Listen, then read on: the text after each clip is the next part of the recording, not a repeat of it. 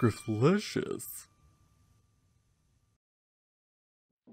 I recently put out a poll on the YouTube channel, and the most requested video was for the quickest ways to improve. Thankfully, I've been working on some things that I think will help you guys out and get your skills up to where you want them to be much quicker.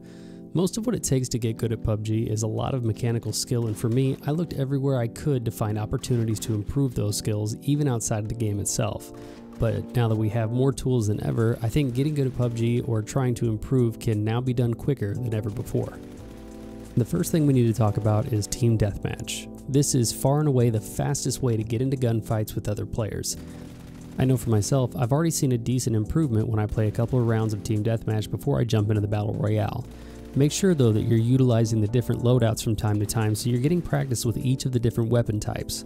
One big thing I'd like to encourage though is to remove some of the attachments from the assault rifles at the beginning of each respawn.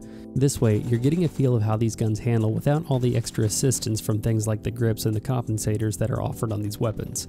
I find the best way to get the most out of this method is to choose the AKM loadout since you only have to remove the compensator when you spawn. My next tip was something I spent a lot of time doing myself and it really improved my overall aim and mouse handling, and that was a website called aimbooster.com.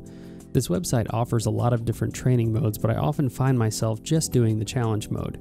Here you'll be tested to see how long you can last by clicking each of the targets before they disappear, but you can only miss three of them or else you'll have to start over.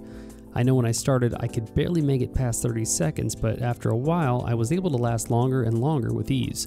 Something that's fairly important is to make sure that your mouse sensitivity while you're on your desktop is similar or as close as possible to your in-game sensitivity. This will make sure that you're committing the right muscle memory to your movements. One thing I always enjoy doing is to try and do a challenge or two while I'm in the lobby waiting to board the plane. And last but not least, this is easily the oddest and probably the most counterproductive tip, but I assure you it's a solid and healthy thing to do from time to time, and that is to play other first person shooters. Because PUBG is a bit of a slower paced game, it's good to keep your responsiveness and overall skill up whenever you can.